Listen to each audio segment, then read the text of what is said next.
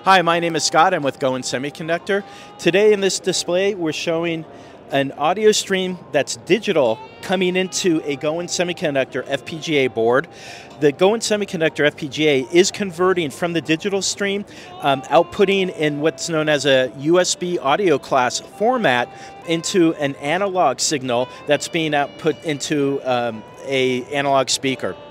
As an example, here's one of our customers that has actually taken this board concept and has actually created a little UAC or what we call a USB dongle converting digital signal using the GOWIN semiconductor into an audio out. This is great for going when you have a USB um, um, output from, let's say, like a PC, and you have a plug-in earphone um, that's analog.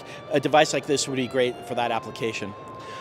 For more information, please contact GOWIN Semi at www.gowinsemi.com. Thank you.